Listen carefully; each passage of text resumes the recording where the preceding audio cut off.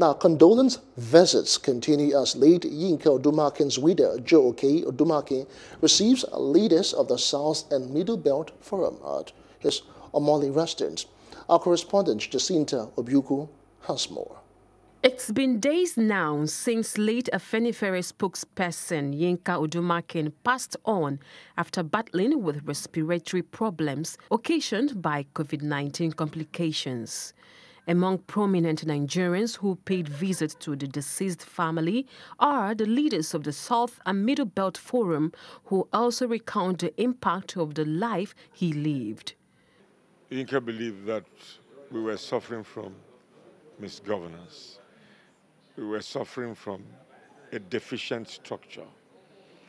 And we needed to turn our country around. And he was prepared to go any length whatsoever to speak with whoever was necessary. Uh, Yinka was someone who showed an amazing zeal for the evolution of a fairer society and for the emancipation of the underclass, underclass in our society. Yinka was selfless. Yinka was committed to the cause that he believed in. And it was up to you to convince him otherwise with superior argument on any issue.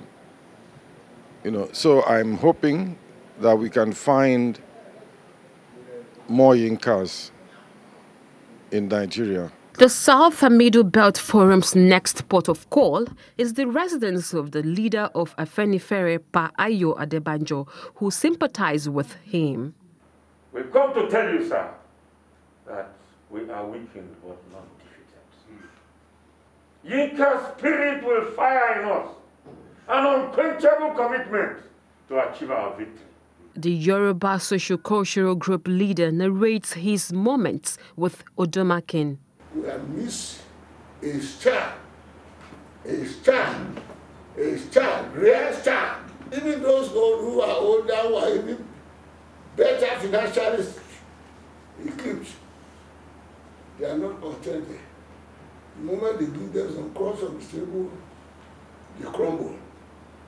That's what we are missing. That's, that will be the kernel of your prayer for God to replace a man of his quality, of his stamina, of his loyalty to, to this great country. Thank you very much. State of the Nation as well as the newly formulated Southeast Security Outfit, Ebube Agu, were also discussed. I don't oppose the session, but I don't oppose it. It is to present the session that we are saying the sorcery is the answer. All the governors from the five states of the Southeast attended the meeting in Owerri, and they were on the same page. What happened on Sunday was historic. The wife of the deceased, Joe Okei-Odumakin, says the body of her husband will be laid to rest on Saturday, April 24, 2021, among other funeral rites. Jacinta Obiukwu reporting for Plus TV Africa. Hello, hope you enjoyed the news. Please do subscribe to our YouTube channel and don't forget to hit the notification button so you get notified about fresh news updates.